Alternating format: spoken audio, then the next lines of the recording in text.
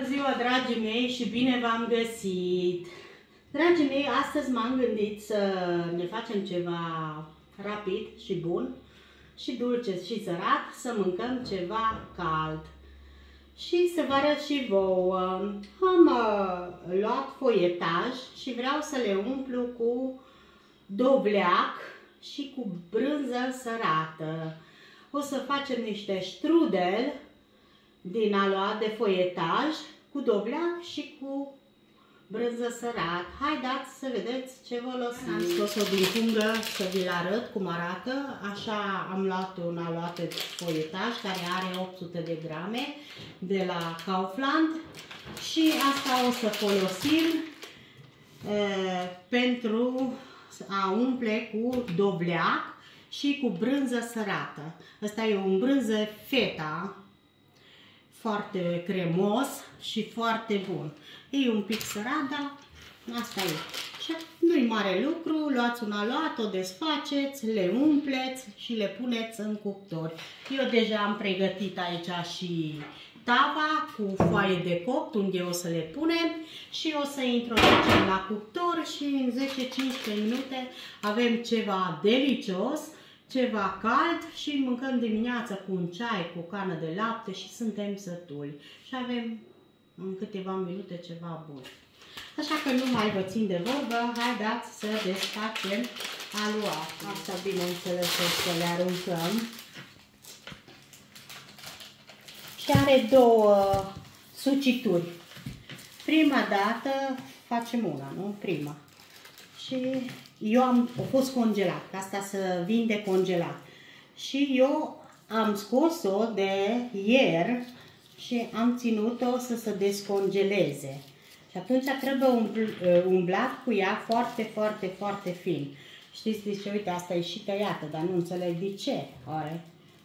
Eu n-am umblat la ea. Eu atâta că am cumpărat, am pus-o în congelator și acum o desfacem.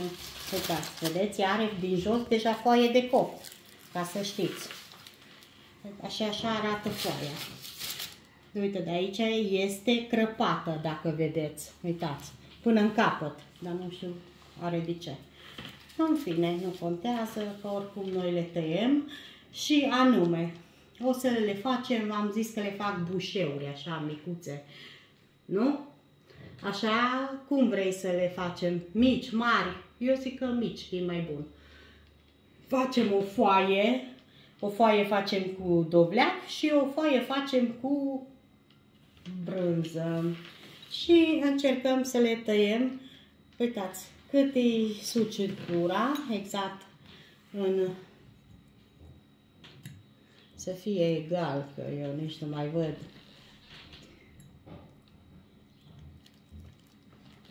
În patru. Și acum, asta în trei. În trei. Vreau să le fac un pic mai mari de aia. Așa. Să fie egal de aia.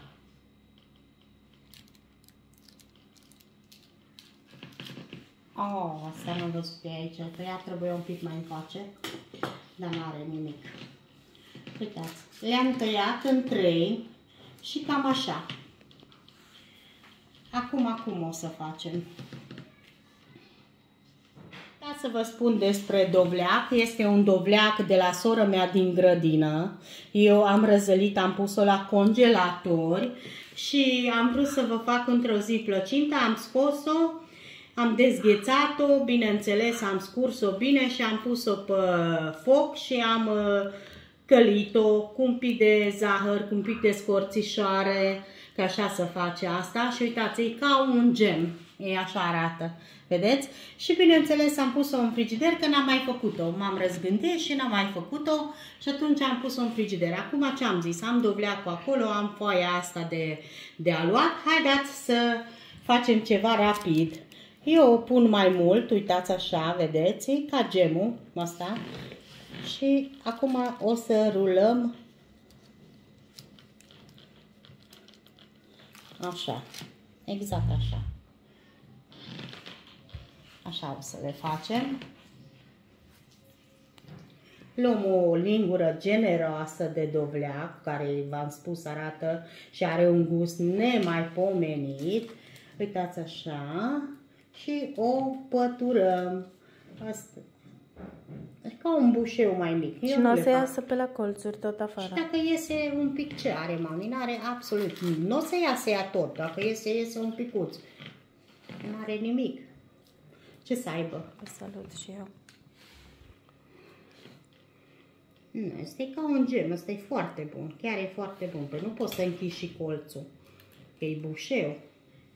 El trebuia un pic mai mare, dar eu le fac mai mici. Asta e după plăcere, deci nu e neapărat să faci mare. Uitați ce fain arată astea, mini bușeuri, mini. Ați văzut? Uitați, nu o să ne iasă foarte mult, dar pentru noi e suficient ca să mâncăm dimineața. Haideți să pun un pic mai mic ca să o închid mai bine, vedeți? Și colțurile, că la fata mea e frică că o să iasă, dar garantez eu că nu o să... Și dacă iese un pic aici așa la, la margine, un pic, nu mult, că nu are nimic. O să vedeți ce fain și ce bun o să iasă, pentru nu o să vine să credeți. O să luați tot des și o să faceți tot des. Știți că totdeauna eu vă arăt rețete rapidă, simplă și foarte ușoară și la îndemâna oricui. Cu ce aveți pe acasă, că și noi. Deci asta le-am avut în frigider, nu de acum, n-am cumpărat nimic de acum, am avut în congelator, în frigider mai de mult și le facem. De aia și cumpăr când mă duc să am acolo, că când avem poftă sau uh, am mâncat ceva, nu mă scot și le fac foarte repede. Și atunci nu trebuie fugit atunci să cumperi, să cauți, să, să aștepți. Nu, dragii mei, ai acolo acasă, o iei și o faci.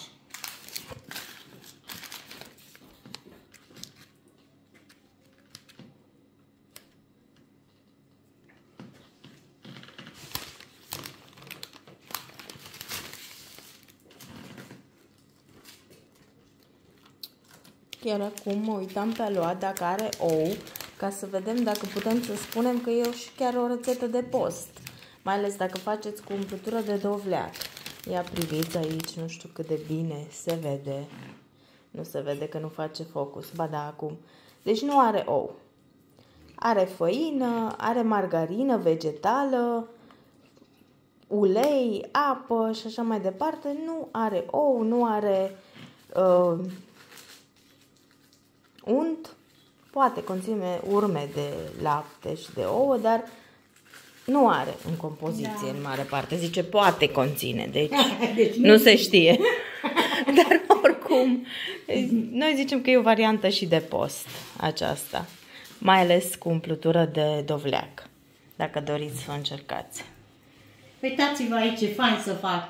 Ce vreți, dragii mei, mai bun și mai frumos de atât chiar e foarte bun, foarte perfect. Este o rețetă simplă oh. și rapidă. Noi am vrut să vă arătăm varianta asta, că nu aveți foarte mult timp la dispoziție, vă grăbiți, doriți să faceți ceva pentru dumneavoastră, poate aveți musafir pe ultima sută de metri, așa că... Uitați, asta era tăiată, v-am zis că acolo, uitați, da? o să vedeți ce fain o să arată. Eu n-am tăiat-o, așa a luat, uitați că mai m rămas și aici. Hai să punem și asta peste. Și continuăm tot așa cu rurourile, după da, care facem mult, și cu brânză. Câteva, o să mai îmi rămână și dovleac. Și revenim. Cele cu dovleac sunt gata și acum începem să facem cele cu brânză. Am spus avem două foi care trebuie foarte fin umblat cu ea, că e tăiată, dar nu știu de ce și nu îmi place. Uitați-vă aici. Și nu-i tăiată exact cum aș vrea eu.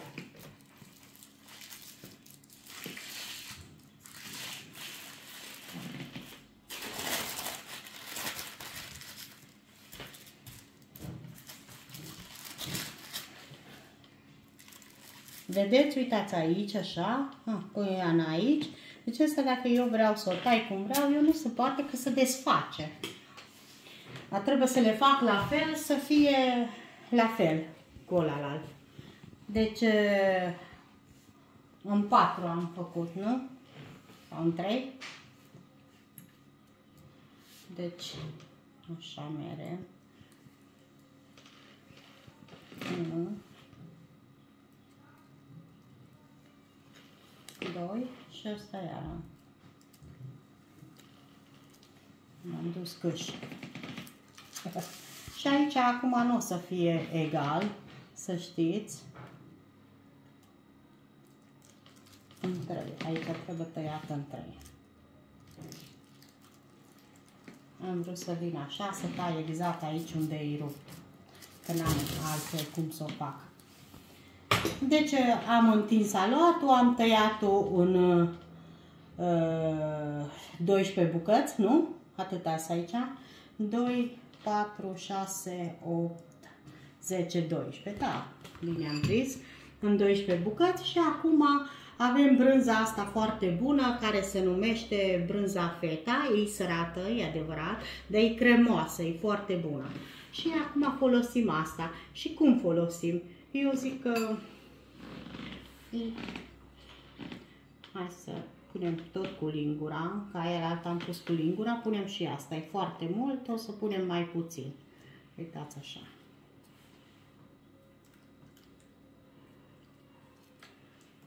Așa. Vedeți? Deci cam să le punem egal.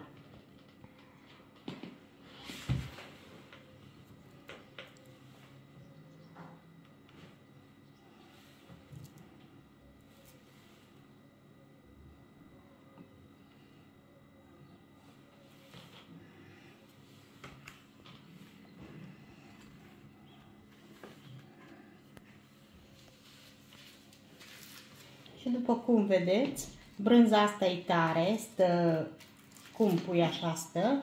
Le rulăm exact ca pe alalți și facem capetele. N-ai cum să bagi înăuntru capetele, dar le rulăm foarte bine. Așa.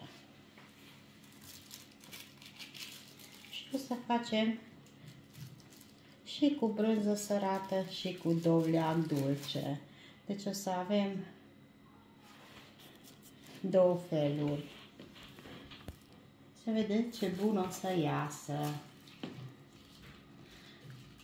Ați văzut că nu durează mult, în doar câteva minute avem ceva bun și delicios.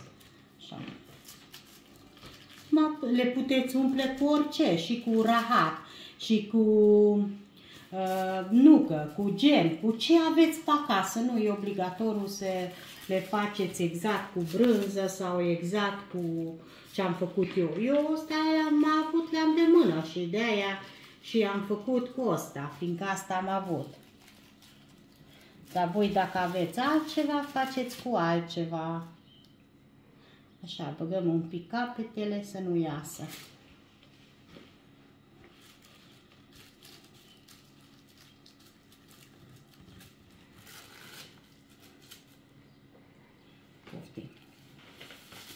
Mai avem câteva.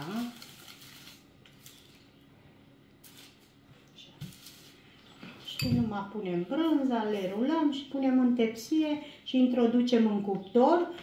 În cuptor nu trebuie să stea foarte mult, că în 15 minute, dacă e cuptorul bine, bine încălzit, este gata, credeți-mă pe cuvânt.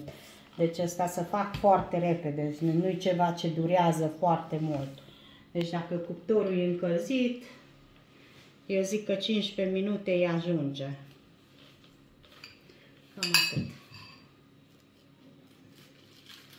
Nu punem nici foarte mult brânză să iasă, că dacă e foarte, foarte mult și ea când se coace, se topește, atunci curge afară. Și atunci punem, i-am pus destul, să știți, am pus suficient de mult ca să să simte că ce are în ea. Deci nu m-am zgârcit de data asta.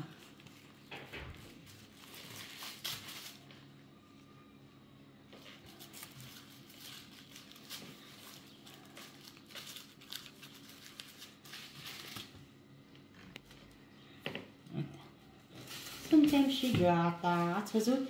Și n-am făcut nici mizerie mare. N-am făcut nici foarte mult pe ea.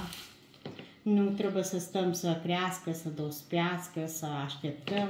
Ați văzut, am rulat, am făcut repede și imediat suntem gata. Uitați-vă aici.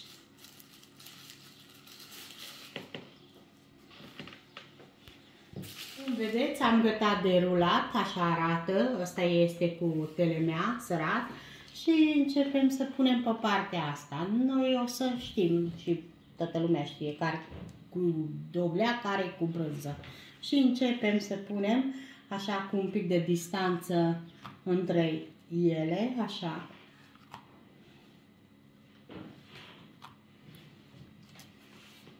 Vreau să-mi intre tot.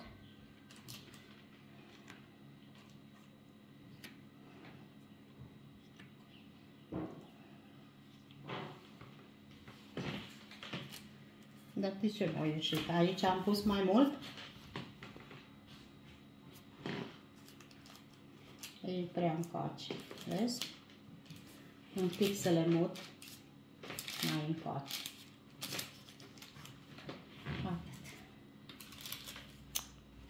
Le-am luat, am zis să mut un pic mai încoace.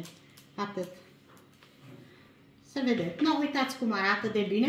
Bineînțeles, dacă n-ar fi de post, am unge un pic cu ou peste. Ar primi o culoare Da, poți, că frumoasă. alea de brânză oricum nu sunt de post. Da, exact. Deci poți să ungi cu ou, cine vrea să facă de post, da. da. Deci, dragii mei, eu am spart un ou, un peste. Pentru ce?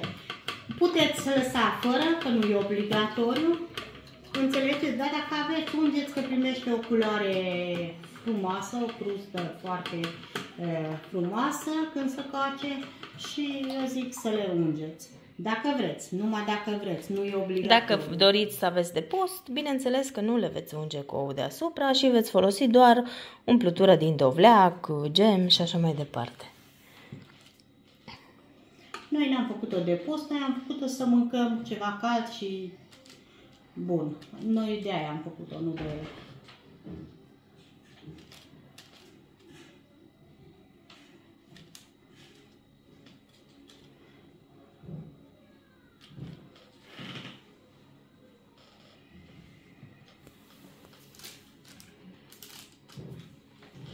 Să nu se lipească, de aia am pus-o mai la distanță, că n-aș vrea să iasă, o să crească, și nu aș vrea să se lipească, de aia am lăsat între ei un pic de distanță,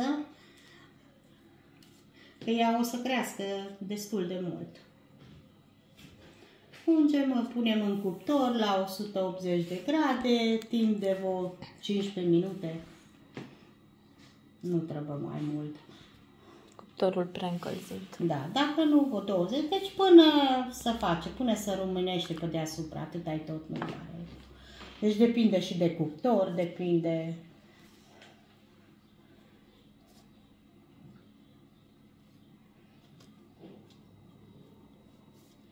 Uitați ce frumos arată! Nu, mai avem ultimul rând. Uitați asta aici, ați văzut? A fost uh, aia tăiată, am nimerit-o eu acolo tăiat, dar n-are nimic, să vedeți ce fain e. Sper să nu iasă dovleacul foarte mult din ea. O să iasă, dar nu cu totul. Cum un pic. Acum ce să facem? Asta este. Nu, ne place cu mult dovleac. Decât să pun numai un pic. I-am pus să fie, să simțim că mâncăm dovleac. Nu, ne place cu multă umplutură. Voi, dacă asta vreți să nu puneți mai puțin. Dar cu siguranță dacă o să încercați, o să vă placă că ați văzut. Da, puteai să închizi capetele și atunci nu mai ieșea, știi? Da. da, da, aia zic că dacă se putea, da, e adevărat. Dar atunci era mai micuță.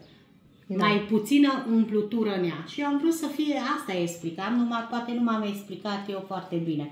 Deci puteam să le pun mai puțin umplutură, să închid capetele, să nu iasă și eram sigură că nu ăsta, dar eu am zis nu, mai bine să iasă un pic, dar să fie umplutură în ea, să nu fie goală. Nu, atâta, am rămas și eu, dar nu e o problemă. Deci, Așa arată. Noi acum o să introducem în cuptorul preîncălzit, cum v-am spus, la 180 de grade, timp de vreo 15, maxim 20 de minute. Și când e gata, până să coace. Și când s-o copt, o scoatem și vă arătăm. Așa arată, asta este finalul. Am rupt una în două să vedeți ce fain arată înăuntru și câte brânză are. Este nemaipomenit. Deci asta cu, cu dovleac e super gustos, să simte uh, gustul ăla bun de dovleac și asta cu brânză e foarte bună. Deci nu rămâne decât să o încercați și voi, să mâncați, să vedeți cât e de rapidă și de simplă. Ne-a ieșit o grămadă, uitați-vă aici, așa arată, mai avem și în tepsie, o grămadă. Vă mulțumim că ne-ați urmărit, urmăriți-ne și în continuare, vă pupăm, vă îmbrățișăm, vă invităm la masă și vă spunem poftă bună și la revedere, pupici! La revedere!